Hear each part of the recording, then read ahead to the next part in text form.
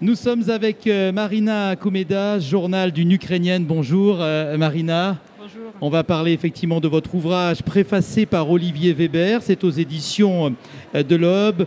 Vous avez grandi en Ukraine et, vous êtes aujourd'hui en France. Vous travaillez bien entendu au sein de diverses organisations associatives. Et, dans cet ouvrage parfois vraiment poignant. Vous racontez les grands moments de, transition vécus par, par une famille ukrainienne. Il se trouve que cette famille ukrainienne, c'est la vôtre.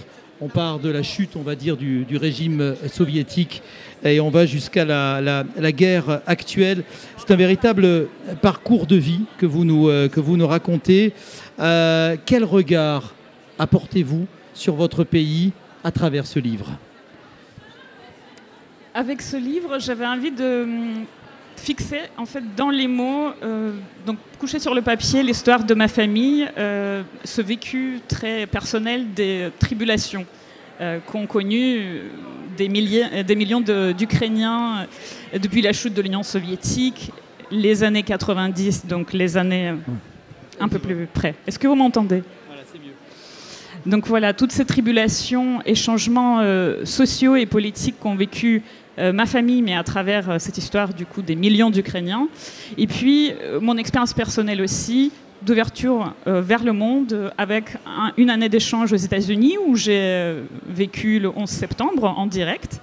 le déménagement en France, où j'ai découvert du coup ce pays qui m'a accueilli, et puis les révolutions. D'ailleurs, voilà, j'ai oublié de mentionner ma participation à la révolution orange, donc premier élan de, de, démocratie où le peuple s'est rendu compte de, sa capacité d'agir, et puis vivre de loin d'autres tribulations telles que Maïdan et puis maintenant la guerre qui m'a rapproché du coup de mon pays où je vais régulièrement pour euh, cette fois travailler sur un documentaire. D'accord, c'est un ouvrage qui est dédié à vos proches qui résistent avec euh, beaucoup de, courage. Euh, parlez-nous un petit peu du quotidien aujourd'hui en, Ukraine. Vous y revenez régulièrement. On sait que malheureusement c'est une, une guerre qui dure. On a l'espoir que le conflit euh, s'arrête Quels sont justement, quels sont, quel, est, quel constat aujourd'hui sur place et quels sont vos espoirs dans ce conflit? Le quotidien, il est plein de paradoxes, puisque dans les rues, on voit beaucoup de personnes, euh, de plus en plus de personnes mutilées, beaucoup de treillis. On voit les hommes qui reviennent du front pour retrouver leurs euh, enfants. on les voit aussi dans les théâtres et sur les terrasses des restaurants. mon cousin est lui aussi engagé dans l'armée dans ma ville natale de Soumy, où la dernière fois quand j'y étais, on s'est fait réveiller avec mes parents par un missile balistique qui euh, passait au-dessus avec les vitres qui tremblaient. Euh, comme ça, j'ai pas, pas raté mon train, donc euh, voilà, j'ai pu le prendre. Mais c'est vrai que c'est cette angoisse constante du quotidien, de peut-être ne pas voir le jour prochain, et du coup qui ajoute à une vie, euh, voilà, qui, qui, qui, crée aussi une, euh, euh, qui, donne un élan de vie assez important. On voit les salles de concert pleines, les salles de théâtre pleines, les, les restaurants remplis. Donc on a envie de vivre pleinement. L'instant, je dirais. C'est ça. Tout à fait. Vous le dites, hein, vous dites la guerre a appris aux Ukrainiens à faire maintenant, car demain peut ne pas avoir lieu. Mais l'espoir est là. L'espérance est, toujours là, j'imagine. On ne peut pas l'abandonner. On, ne peut pas l'abandonner puisqu'on on sait très bien que abandonner cette résistance pour euh, les Ukrainiens aujourd'hui signifie euh, de ne pas pouvoir choisir librement sa vie. Et donc, euh, je pense que les Ukrainiens vont résister jusqu'au bout en payant le prix qu'il faut payer. Et évidemment, euh, grâce au soutien, de, au soutien militaire, financier, humanitaire, euh, que ce soit de l'Europe, des États-Unis, c'est seulement, euh, seulement avec ce soutien que c'est possible, même si c'est les hommes ukrainiens qui vont, et pas que les Ukrainiens d'ailleurs, qui vont effectivement au front. Et puis tout le pays en arrière vit aussi au, avec, avec le front, on va dire, il y a des collectes. Dès qu'on va à un, concert, il y a une collecte pour acheter un drone pour telle unité. N'importe quoi qu'on achète dans un magasin, souvent, il y a 10% qui va à financer telle ou telle brigade. Donc, on, on, suit des formations. Moi-même, j'ai suivi une formation de pilotage des drones de renseignement. donc, que ce soit des, des femmes ou des hommes, des personnes âgées, même ceux qui ne sont pas mobilisables, se préparent à un potentiel engagement.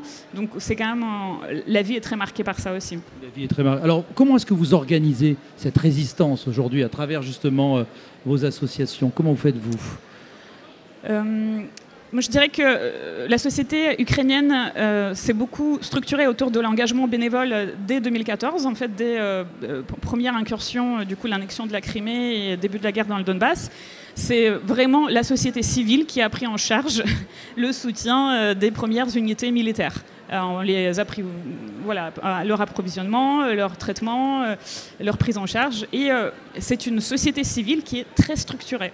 Et je pense qu'elle est peut-être plus stable et plus active que les instances peut-être politiques qu'elle surveille également qu'elle surveille vraiment euh, de près.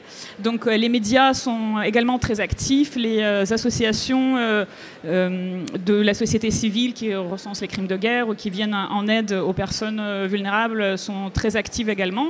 Donc voilà, tout, se structure autour de, cette résistance, mais aussi la production culturelle. Là, au, moment où on, est au forum ici, il se passe un forum du livre à Lviv sur quatre jours qui a réuni des, millions des milliers de personnes, et c'est le deuxième forum du livre euh, de l'année. Le premier, où j'ai assisté à Kiev en juin, a réuni une trentaine de milliers de personnes à, Kiev. Mhm. Les gens lisent, ils ont envie de, de continuer à vivre. La culture est toujours bien présente, notamment les, les ballets, on sait bien entendu, les, les ballets ukrainiens, enfin du moins, la culture résiste les ballets, le, cinéma. Euh, j'ai vu qu'à l'ITFA, donc, euh, qui est un grand festival de documentaires à, Amsterdam, il y a une quinzaine de projets ukrainiens qui, mhm. sont sélectionnés. Donc ça, bouillonne dans beaucoup de domaines. La création musicale, euh, mes parents maintenant écoutent des, des, jeunes auteurs donc, en boucle. Euh, au quotidien, à la télévision, euh, ça foisonne euh, dans beaucoup de secteurs. Mais les Ukrainiens ont toujours besoin, parce que voilà, il y a toujours tout de même des, événements qui s'organisent ici, notamment sur la Côte d'Azur. Il va prochainement y avoir un, concert d'ailleurs de, bienfaisance. Hein. C'est l'Orchestre régional de Cannes aussi qui va l'organiser dans, quelques jours. En tout cas, voilà, L'association s'appelle Afuka, il me semble. Oui, voilà, Qui se trouve à Cannes et qui est très active euh, sur toute la côte. Euh, en fait, euh, il, y a plus d'une centaine d'associations de mhm. diaspora, on va dire, ukrainienne en France dont euh, les grands pôles, donc dans le sud, à Lyon. Euh, moi-même, j'ai été cofondatrice de l'association Lyon-Ukraine, qui, qui, est une grande association maintenant, à Paris, plusieurs, et qui œuvre sur plusieurs domaines, donc humanitaire, aide médicale, prise en charge des enfants. Il y a toute une fédération d'associations qui amènent des enfants ukrainiens en France pour passer des vacances et qui cherchent toujours des familles d'accueil. et puis aussi du secteur culturel. Il y a un institut ukrainien qui va bientôt voir le jour à Paris.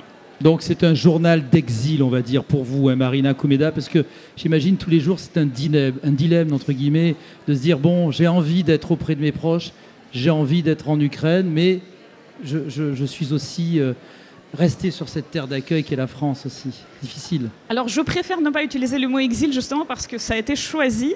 Euh, j'ai euh, quelque part deux terres d'accueil parce que voilà, la France pour moi ça a été un choix de faire mes études ici, découvrir euh, comment on enseigne la sociologie dans le pays de Bourdieu. Et, euh, et puis, euh, cette envie d'y retourner en Ukraine est présente tout au long des, de mes 17 années en France. Et aujourd'hui, prend un peu le dessus. J'ai de plus en plus envie. J'ai passé la moitié de l'année en Ukraine cette année et j'ai vraiment envie d'y retourner parce que voilà, c'est très difficile de choisir et, le besoin est supérieur en Ukraine en ce moment. Voilà, en tout cas, c'est un journal extrêmement documenté, extrêmement important. C'est votre vie, c'est la vie de votre, de votre famille. Journal intime, hein, je vous cite, de vos souvenirs d'enfance pendant les dernières années de la République socialiste soviétique.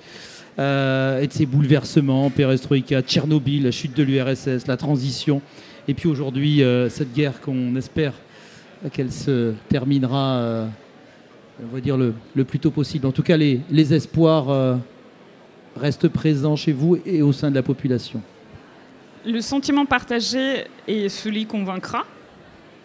Mais évidemment, on se rend compte que ce sera très long, très long, prix de, grandes pertes.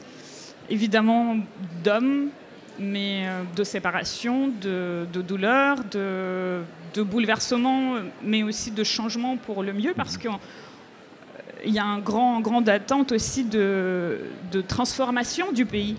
Euh, que ce soit au niveau de la corruption ou euh, des institutions et leur modernisation. Alors, à certains égards, euh, l'Ukraine est bien plus moderne, moderne que, on va dire, même la France ou d'autres pays, mais, mhm.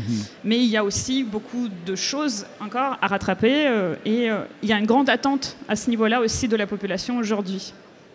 Mesdames et messieurs, Marina Koumeda, journal d'une Ukrainienne, c'est aux éditions de l'Op, préfacé par Olivier Weber. Merci beaucoup pour votre témoignage. Merci à vous.